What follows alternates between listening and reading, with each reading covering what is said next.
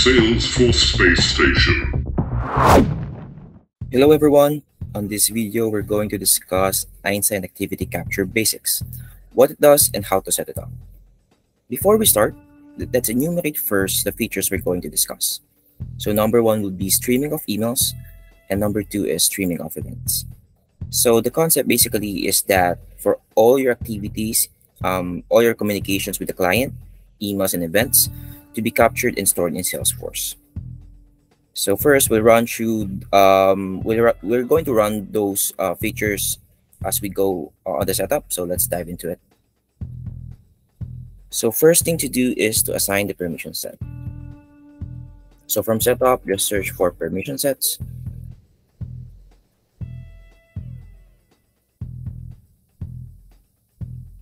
From here, look for standard Einstein activity capture.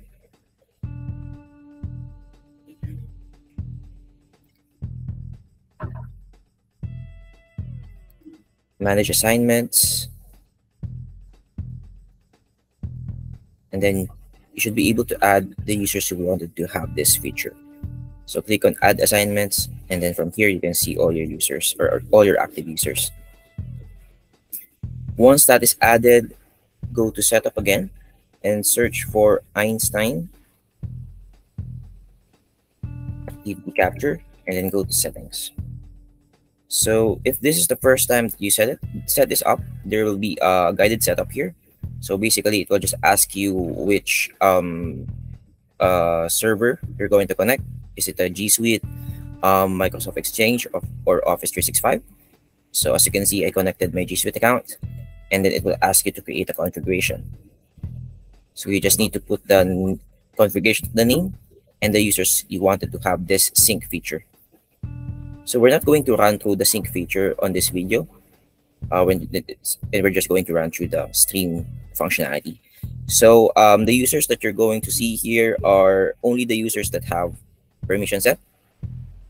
So make sure to assign uh, the users on that permission set if you wanted to have EAC functionalities. So from here uh, is where you can control uh, what feature you wanted. So we have this email, uh, email streaming, uh, event syncing, and contact syncing. You can also control the directions of which you want those items to sync. And then uh, since we don't have, uh, since once you connected your account um, to Einstein Activity Capture, your your G, your G Suite or your Office 365 account, you don't have um, the capability to filter which email that you wanted to sync in Salesforce. So um, the only way to control that is via exclude addresses. So from here, you can add domains. For example, you don't want um, emails that is coming in from your colleagues to enter into Salesforce. Then you can just uh, add your internal domain here. You can also add specific email addresses if you want. Uh, if you only want like three people um, emails not come into Salesforce automatically, you can do that here. So once that is done, um, you can now connect your email account. So go to personal settings, and then from here, search for connected accounts. Then click on email and calendar accounts. So from here, you can connect your account. Just click on new account and you can choose uh, what type of account you're going to connect. So again, it will be Google, Office 365, and MS Exchange. So once that is connected, the streaming functionality should be working already. So uh, to test that one, I have this sample contact. So again, the concept of this feature is for all your email communications and events to be logged in Salesforce automatically. So to test that out, I'm going to email this um, email address, but I'm going to send the email from my Gmail account. Here, as email PC today.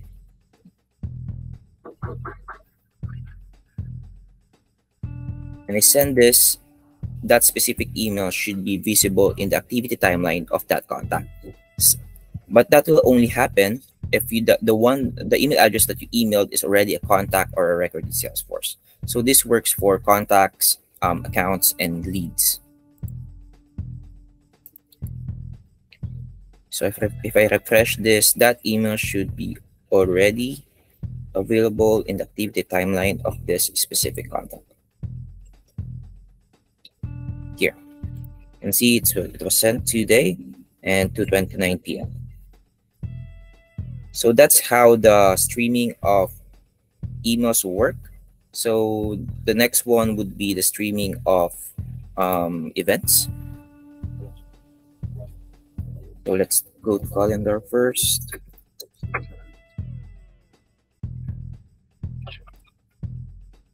But we'll still stay to the contact record.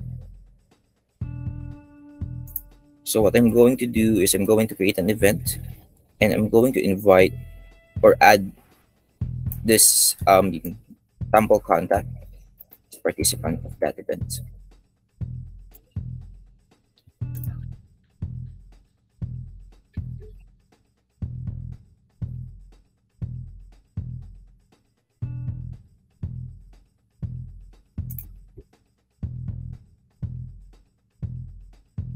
This event, AC, add the guest.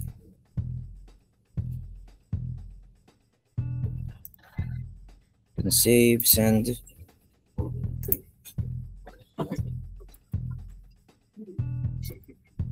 All right. Click on refresh, and then that event should be visible in the activity timeline of this contact. Show all activities. Just wait, it could take a while. there you go. So it's now um, available here so you can view the details of that event the time and everything.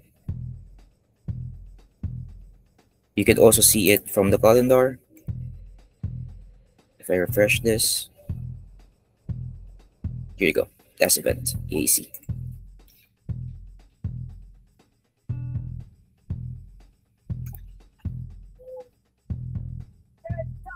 I hope you guys were able to learn um, something from this uh, video. And I will catch you on the next one. Thank you.